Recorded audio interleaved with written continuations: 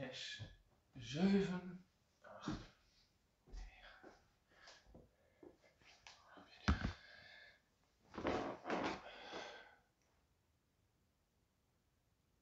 Hey YouTube, tof dat je kijkt naar een nieuwe review. Hier bij Thomas opent met een beetje geuzen.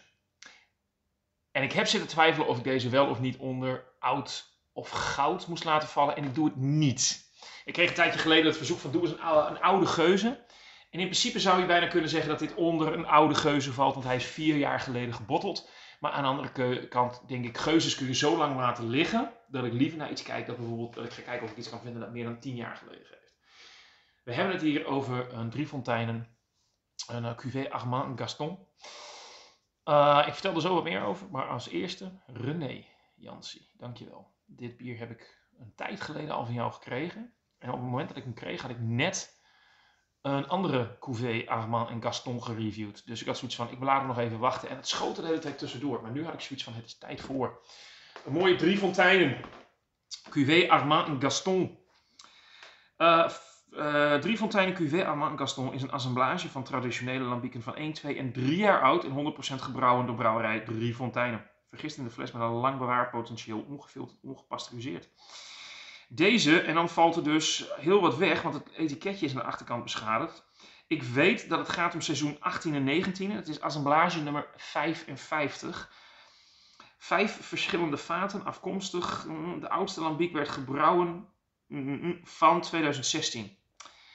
Dat is het. Helaas is er een stuk van de informatie verloren gegaan. Maar goed, het is dus een 1819 assemblage uh, nummer 55.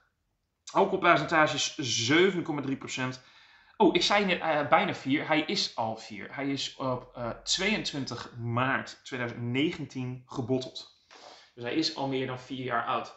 We gaan hem voorzichtig openen. Hoe openen we een geuze, Thomas? Met respect.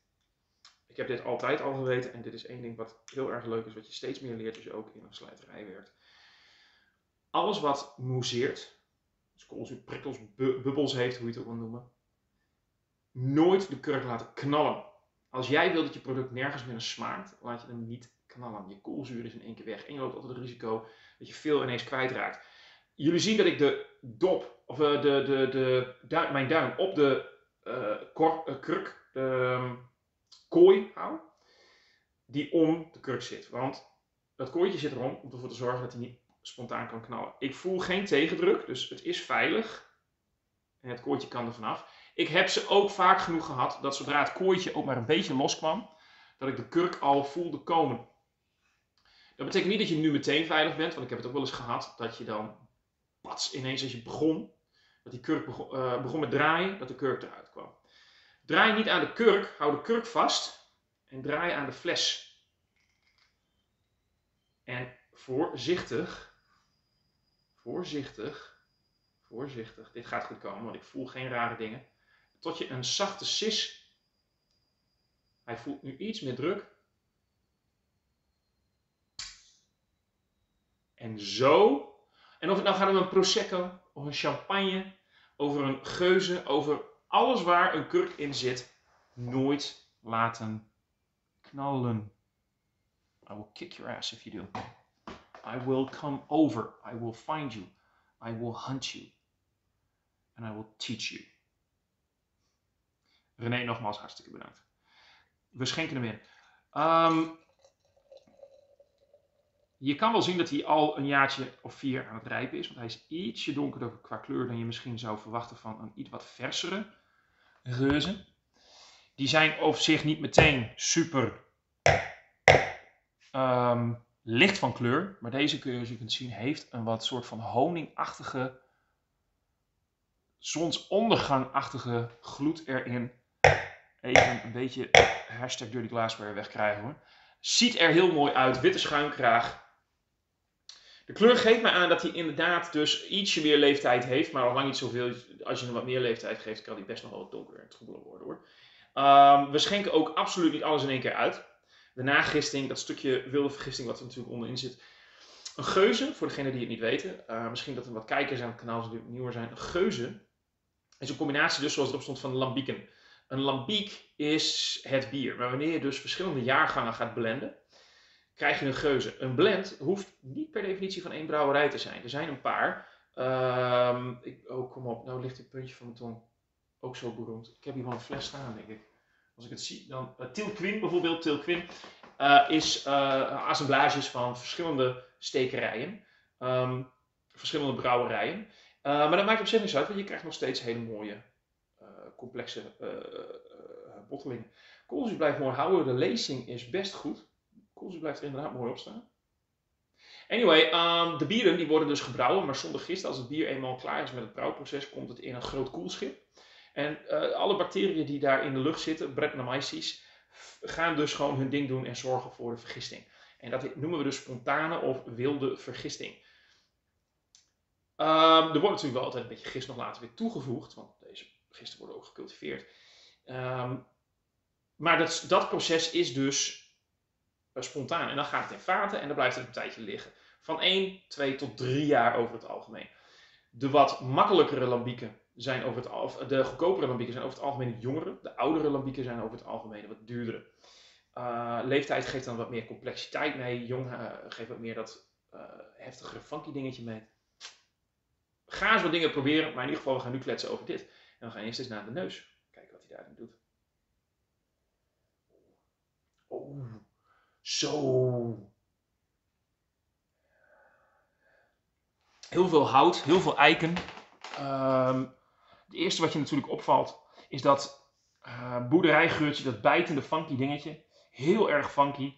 Dat funky wat je krijgt van inderdaad, uh, uh, wat is funk? Funk is bijvoorbeeld, ja, we associëren dat over het algemeen met verkeerde dingen. Een koelkast die rottend stinkt, of bijvoorbeeld kaas dat er ligt oude kaas, oude uh, schimmelkazen, funky.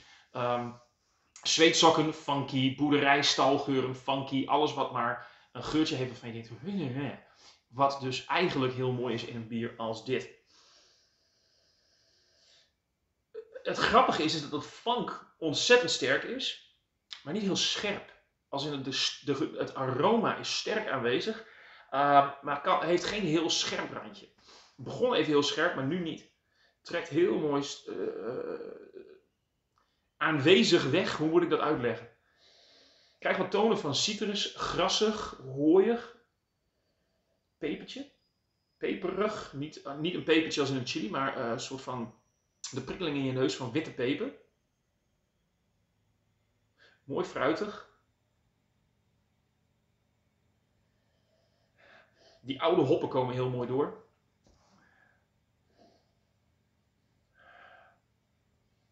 tarwe ook. Uh, uh, lambiek moet een, een uh, zoveel percentage, ik ben het even kwijt, aan tarwe hebben. Ik zou het even moeten uitzoeken, maar je merkt het wel. Heel complex. Heel droog. Heel mooi droog. Neigend naar een soort van Sauvignon Blanc karakter. Echt een beetje een soort van dat Buxusbol dingetje. Ziet er echt schitterend uit. Echt, de schuimkraag blijft gewoon heel mooi staan. Dit is trouwens een van mijn favoriete glazen voor wilde bieren. Heel mooi droog. Heel veel eiken, heel veel hout. Hm. Als je een bier ruikt, als je uh, bezig bent met het hele proces van het ruiken, uh, probeer je mond open te doen en ook een beetje door je mond in te ademen. Door zowel je neus als je mond tegelijk zo gek genoeg creëert dat een soort van, ik weet niet hoe ik dat moet uitleggen, maar ik, ik heb, het, het, doet iets waarvoor je het ruiken nog mooier voor elkaar krijgt. Oh man, die funk. Dat soort van blauw aardekaas, blauw schimmelkaas dingetje. Boerderijding. Absoluut schitterend. Absoluut schitterend. Mega complex. We gaan eens even een slok nemen. Kijken wat hij doet. René, nogmaals, dankjewel jongen. Proost.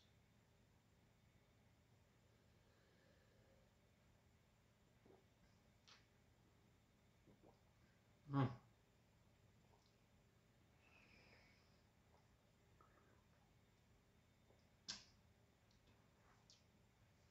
Heel verfrissend zuur. Niet bijtend zuur, maar wel zuur. Echt dat um, neigend naar een hele mooie complexe, hoge kwaliteit witte wijnazijn. Een zuurtje. Absoluut een Venice wijnachtig karakter hier. Het koolzuur is gelukkig niet heel agressief. Heel subtiel aanwezig. Zorgt voor een heel verfijnd bubbeltje. Uh, die de smaak heel mooi draagt. Je krijgt inderdaad dat, wederom dat citrus dingetje komt heel mooi door. Dat soort van witte druif, Sauvignon Blanc-achtige karakter komt heel mooi door.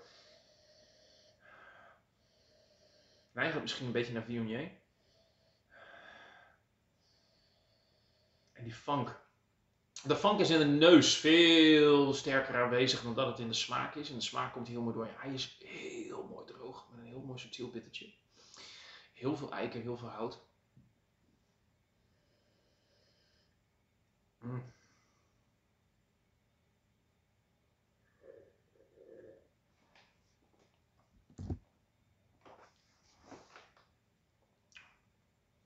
Wederom gaan we weer kriebel in de keel. gaan we meer lezen over het brouwproces van um, hoppen, of over uh, lambieken. Als ik me niet vergis, gebruiken ze overjarige hoppen. Staat me even iets van bij. Wat een heel specifiek aroma meegeeft. En dat krijg je hier ook absoluut in door. Dat tarwe karakter doet zijn dingetje zonder dat je echt denkt ik krijg een tarwe bier. Het is, het is een behoorlijk complex dingetje. Er gaat heel veel continu uh, door. Van dat soort van wat ik zei, dat licht soort van wit peperrandje, wat grassig, hooiig.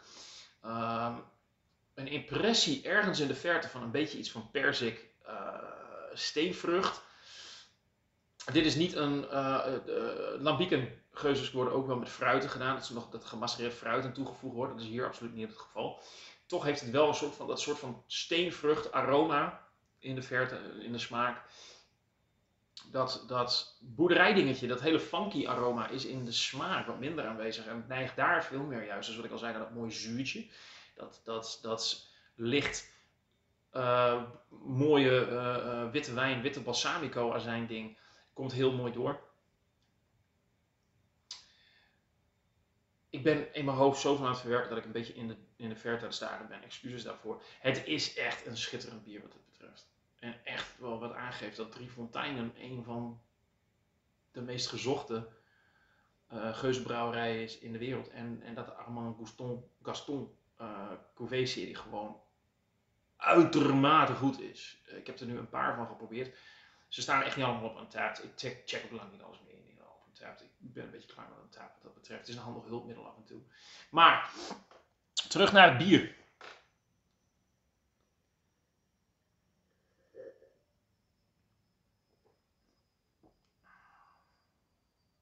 Heel verfijnd en complex. Heel smaakvol, maar niet te agressief. De neus is wat, heeft wat meer potentie. Niet potentie, maar potentie. Ik kom even niet op het juiste Nederlandse woord. Maar intens en dan de smaak. En de smaak heeft dat helemaal. Maar de smaak is wat verfijnder en delicater. Schitterende geuzen. En echt heel gaaf van René dat hij mij dit opgestuurd heeft. Dankjewel jongen. Dit is echt een bier waar ik nog even heel erg mooi chill van ga genieten. Gaat even naar de kant. Gaat even nog een ander bier gereviewd worden. Voor de rest gaan we heel complex, uh, of heel uh, uh, simpel van een mooi complex bier genieten. Dankjewel kerel. Heel gaaf van je.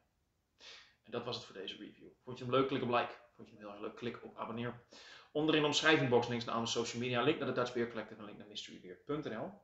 Laat wat comments achter en ik zie jullie allemaal bij een volgende review. Tot dan.